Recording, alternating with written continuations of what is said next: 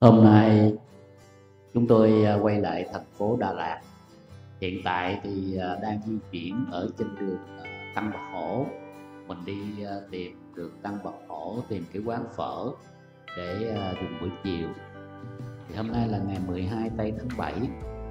Sau 8 tiếng đồng hồ di chuyển bằng xe, thì chiều hôm nay thì bắt đầu để đến với thành phố Đà Lạt thời tiết tại thành phố Đà Lạt trong ngày hôm nay rất là mát mẻ. À, đường xá thì cũng chưa có đông lắm vì à, vào ngày thứ sáu thì à, bây giờ thì chúng tôi đang tìm cái quán à, phở ở trên đường Tân Bạc Hổ và quán à, sữa đậu nành qua sữa. Thì đang đi tìm lang thang ở trên phố Đà Lạt. Phải nói là thành phố Đà Lạt nơi có một không khí rất là mát mẻ và chúng tôi rất thích đến với thành phố Đà Lạt. Và đây phát hiện ra cái quán mà chúng tôi cần đến. Thì mỗi lần đến Đà Lạt thì thường hay ghé vào cái quán này để uh, ăn phở. Thì tại đây uh, là có những cái món như là phở nè như là bánh ướt lòng gà nè và những món khác nữa. Uh, đặc biệt là vào tối thứ bảy ở khu vực này rất là đông người. Vì đối diện cái quán này có cái quán sữa đậu nành qua sữa ha. Nơi đây tập trung rất là đông bạn trẻ vào tối thứ bảy và tối chủ nhật. Thì hiện tại bây giờ à, chúng tôi đã ngồi ở trong quán rồi. Đang à, gọi những cái món ăn à, bản thân mình là khi đến thành phố Đà Lạt nơi có khí hậu mát mẻ đặc biệt là vào buổi sáng và buổi chiều.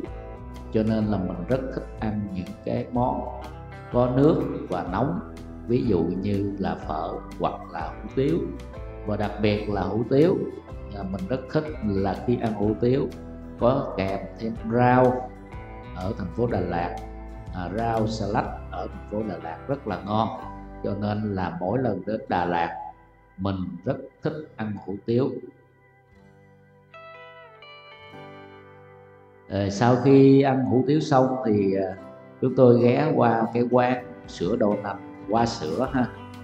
Thì bây giờ đó là bên trời, ngoài trời đang mưa lất phất, mưa phùn, cho nên là không ngồi ở phía bên ngoài, mà đi vào phía bên trong quán để ngồi. Mỗi người uống một ly sữa đậu nành. Còn hiện tại bây giờ là qua ngày thứ hai chúng tôi đang ở trên một cái biệt thự ở tại địa chỉ số 10 Phạm Hồng Thái. Thì sáng hôm nay là ngày thứ hai, chúng tôi đang đứng trên một cái đồi. Từ ở trên đồi nhìn xuống là khu, trên đồi cũng là cái sân thượng của cái biệt thự.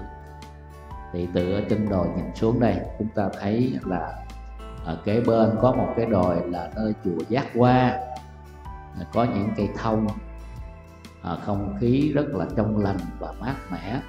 Và phía đường trước mặt quý vị và các bạn đó thì à, đi lên lối.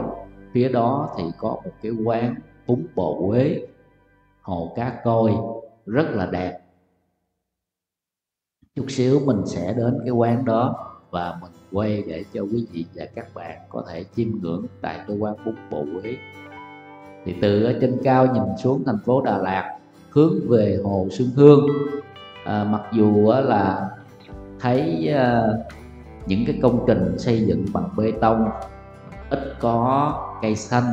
Tuy nhiên là mấy ngày hôm nay thì cũng có áp thấp nhiệt đới cho nên khí hậu buổi sáng ở thành phố Đà Lạt rất là lạnh nha. Thì phải mặc áo lạnh quý vị.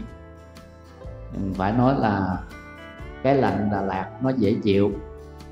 Mà khi chúng ta đi bộ, đi trên những con dốc thì không có cảm thấy mệt.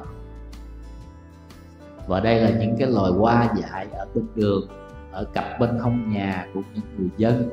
Ở người ta trồng những loài hoa, rồi à, hoa dại rồi có thêm những cái hoa rau thơm.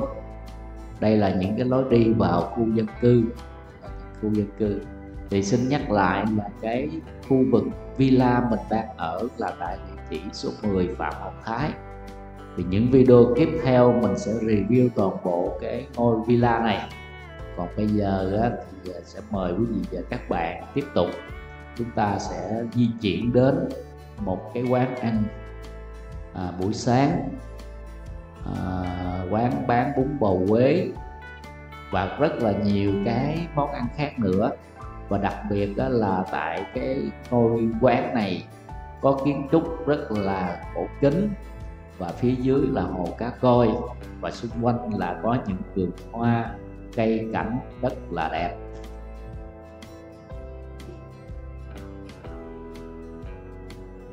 Bây giờ à, thì à, hiện tại thì tầm khoảng à, 7 giờ hơn quý vị. 7 giờ hơn. À, đường phố à, thì vào thứ bảy sáng thứ bảy. Ở cái đường Phạm Hồng Thái thì à, lưu lượng xe cộ rất là ít. Chúng ta có thể thấy là lác đác vài chiếc xe di chuyển thôi, chứ không có nhiều ha.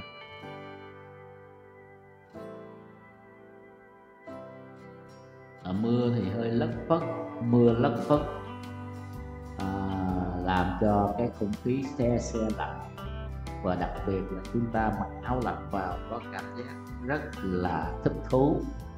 Chính vì chính vì lý do đó mà thành phố Đà Lạt thu hút rất là nhiều du khách đến tham quan và nghỉ dưỡng.